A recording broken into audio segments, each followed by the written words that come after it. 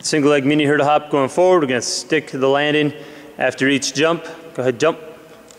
It's going to try and land soft and quiet. Knees are bent, hips are back. Good athletic position. And come back on the other leg.